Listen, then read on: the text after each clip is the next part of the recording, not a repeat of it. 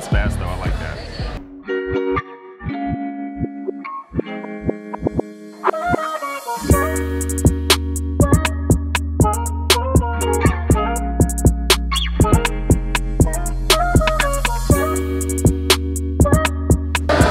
so welcome to the vlog. Courtney and I are out grabbing lunch real quick. Just finished up doing some cool things, but we're at Tacos 4 Life in Concord Mills area. Concord Mills is right near here. It's a lot of food restaurants, shopping centers, grocery stores in the area. Mm. Yeah, they got everything like Viva Chicken, Outback, steakhouses, um, burger spots, Five Guys, Friendly's, Concord Mills, um, a whole bunch of different spots in the area. We decided to grab some Mexican today. I got two tacos. They have a combo type situation. So I got the chicken bacon ranch taco and the blackened mahi um, fish taco and then salan no queso um, rice something something something. The restaurant is like a fun, lively but still like kind of fresh feel to it. People come here on the lunch, like we're here around like 12:30, 1 o'clock, so we got the lunch rush.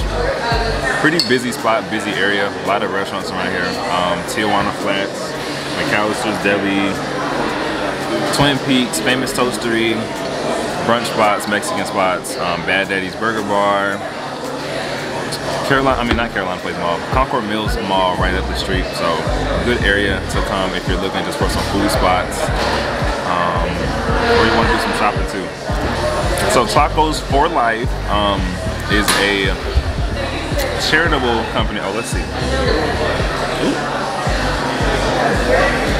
Nice. So every meal that you buy actually goes, um, a portion of the money goes to a child in need. So that's a part of that message here. Good spot, good spot. All right, let's talk about the food. I got two tacos. They have a combo type situation. So I got the chicken bacon ranch taco and the blackened mahi um, fish taco and then salan no queso um, rice something something something. Mm. Can't go wrong with queso rice. It's, just, it's rice and queso to me. It's not bad. Tastes like a bowl without the rest of the stuff in it. So, I mean, it's rice and queso. Can't go too wrong with that. Oh, and we literally came in, um, got in line. The line was moving really fast. It's the lunch rush. Sat down, um, our guac came out, and then like two minutes later, the tacos came out. Couldn't even get the guac down. So, very fast service. Um, it's clean, like good stuff. Second mahi mahi, it's a fish taco. Um, so it has a coleslaw on it, which gives it like a bright freshness. And I squeeze a little bit more lime on it. And the coleslaw also has like sweetness to it, so I like that. That's really good. Mm. This second taco is the chicken bacon ranch. Um, it has like marinated or like grilled chicken on the inside, bacon on top, and then like a ranch aioli kind of sauce. I've also had their fried chicken taco. That one is pretty good too. It comes in like a, um, kind of like a fried flour shell that's a little bit puffy.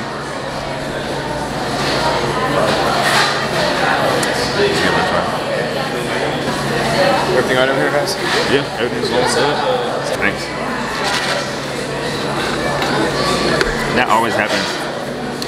Whenever you do these, Yeah, people see the camera and they're like, you know how many managers have came to my table? they got like, She always with Courtney. Oh, we sure do.